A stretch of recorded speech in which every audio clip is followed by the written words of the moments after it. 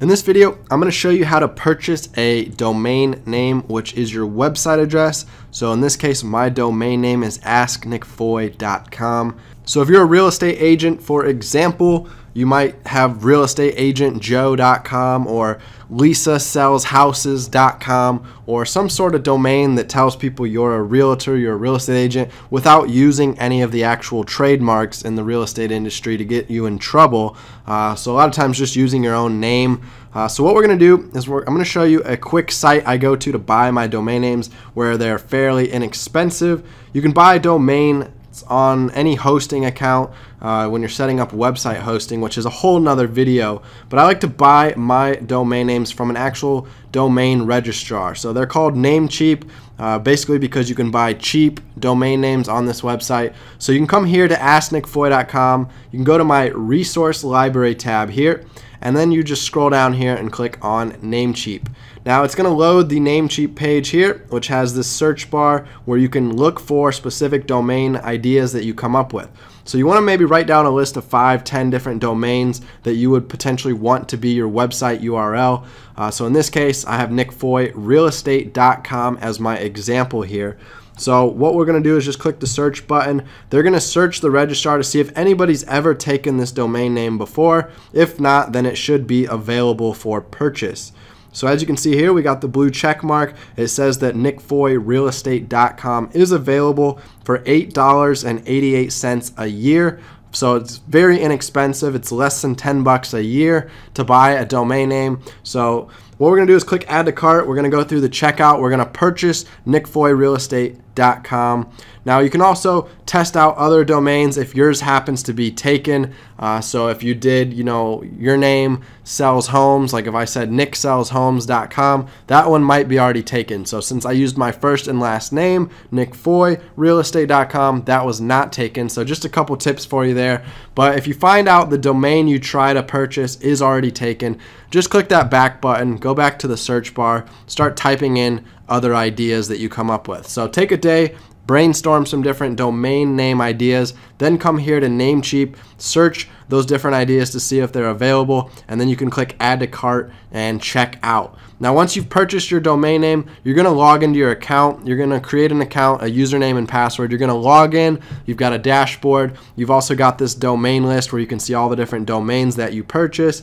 So today, I'm also going to be showing you how to connect your domain to your hosting account because once you purchase your domain name, it doesn't mean you're going to have a website that's live. You actually have to go in and buy website hosting and connect the two together.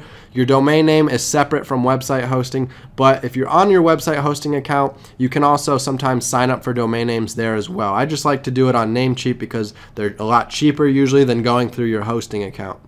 So we're going to scroll down the domain list. I already purchased one called golfpracticetemplates.com right here. So what we're going to do now, we're going to hop back over to my resource tab here and you're going to come here to the resource library and you're just going to scroll down the resource library until you find my SiteGround resource. But I'm also going to go here and type asknickfoy.com slash siteground, S-I-T-E, ground. We're going to click enter and that's going to redirect me over to SiteGround. SiteGround is a web hosting company, uh, so they allow your website to basically rent space on the internet so that it can be live and functioning. And then you've got to connect what domain you're going to be using for your website to your hosting account so that your hosting account knows, you know, where is your website going to be live at. So you got to tell it that new domain that you just purchased. So we're going to buy website hosting. We're just going to pick out a plan here. So we want WordPress hosting if you're going to have a WordPress website. So we just click this get started button here. They're going to ask which plan you want to pick. So it starts $3.95 a month. I have the Grow Big plan. This allows me to have unlimited websites. So if I want to connect multiple domains to my hosting account and run multiple websites, or maybe I've got a couple different websites that I put on different real estate signs that could forward to one of my main websites.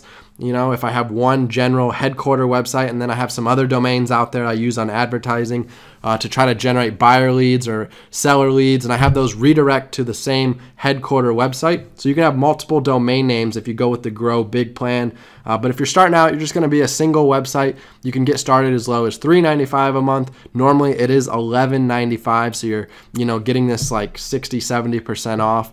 Uh, same goes here. You're paying six bucks a month instead of $20 a month on the Grow Big plan. So you want to take advantage of the special price going on. All you got to do is go to my resource page or type in asknickfoy.com slash siteground. So once you purchase your plan, you're going to log into your account. So you're going to log in here to the Home tab, and what we're going to do is go over to the My Accounts tab.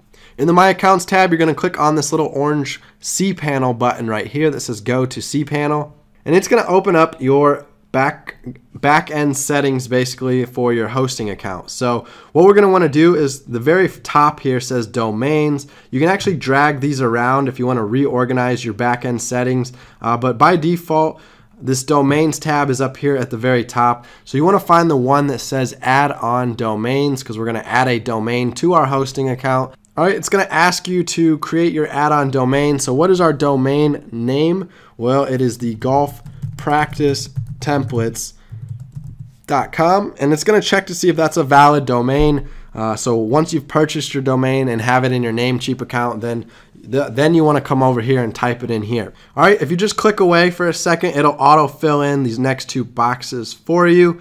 And then you can set your own password or you can use a suggested password. So I'm going to go ahead and click this password generator button. Now they're going to give me a password that I'm going to copy and then we're going to click use password here. Now it's going to ask you to confirm that you have copied this password and put it in a secure location for the future so you don't forget it.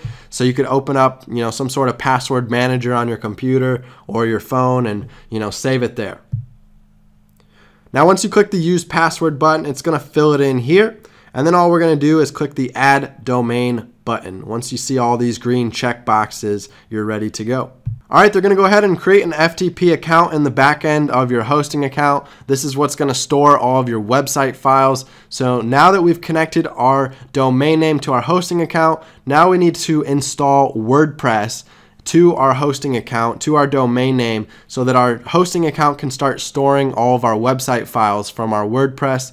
So what we're going to do next is head over into a new video where I'm going to show you how to download and install WordPress to your newly added domain name that you just hooked up to your, your hosting account.